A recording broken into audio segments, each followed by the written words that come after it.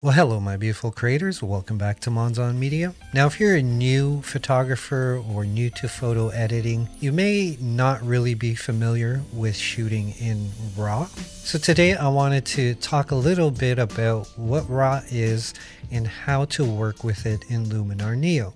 Basically what it is, it's the file format that your camera saves its image as. Also, RAW files contain all the original data and have between 12 to 15 stops, depending on your camera, of dynamic range, which means it has a lot of detail in that file. Whereas a JPEG file size is compressed and often a smaller file size, but it doesn't have as much information to work with. In this example, I have a really old photo that I took many years ago with my Canon Rebel XT. And this is a JPEG version where it's compressed. One area I want you to pay attention to is around this area here. See where the highlights look blown out, as well as this area here.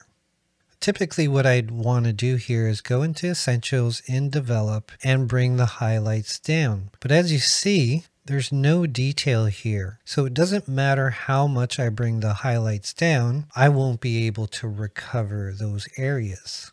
However, if you shoot in RAW, this is easily fixable. I'm going to jump into the catalog here and look for the RAW version. And I'm going to zoom in here so you can really see how this works. I'm going to jump into my essentials area in develop and you see how it says raw here. When you work in raw images, this is the first area where you want to work on your exposure, apply your contrast and some color. You don't necessarily have to do all that extra stuff. As much as possible, this is where you want to kind of tweak your exposure and finalize it. So as I click develop here, we're going to grab the highlight slider and bring it down and watch what happens here. You see all the detail come back to life here and even a little bit here at the back. So if I do a before and after, you see how that's way overexposed and blown out as we bring the highlights down, you can see all those details are still there. And this is a great example of the camera's dynamic range. If you overexpose your image or underexpose it by a couple stops here and there, it's not the end of the world. So shooting raw is mostly beneficial really to cover your butts when you don't nail that exposure.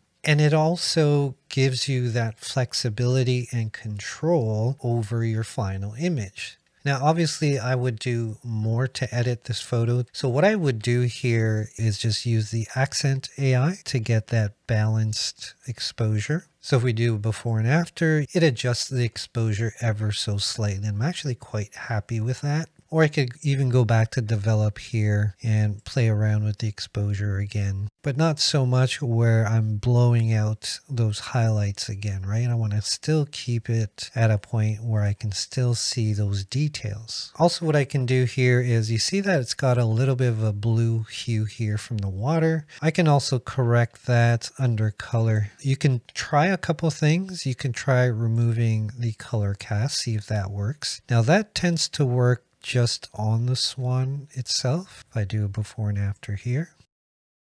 So it just brings out a bit more of the warmth. But if I really want to be accurate, I would go into HSL, go to my saturation tab here and bring those blues down. Now see those blues are gone.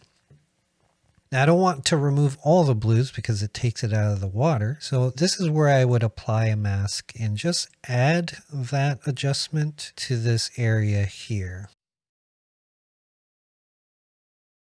Now if I do a before and after, you see that blue hue is no longer there. Probably do some more here.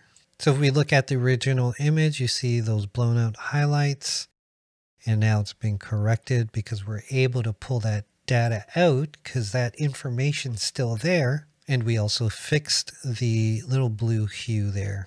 I have another example here that was taken again many years ago from a past air show that I attended. So we're going to open up the develop section here again.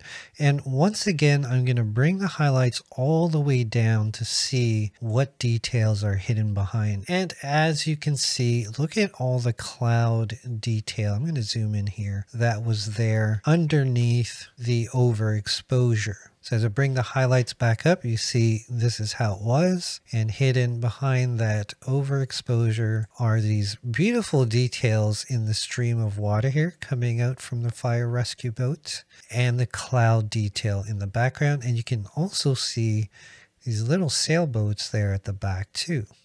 So I encourage you to try shooting in the RAW file format. Now, whether you're a Canon or Sony shooter, your file format may be different. Canon is typically CR2 or CR3. Sony is ARW. Now we'll dive deeper into the develop tool and working with raw images in the future. But today I just wanted to show you the biggest benefit by shooting raw and having all that dynamic range at your disposal so that you can basically have complete control over your image.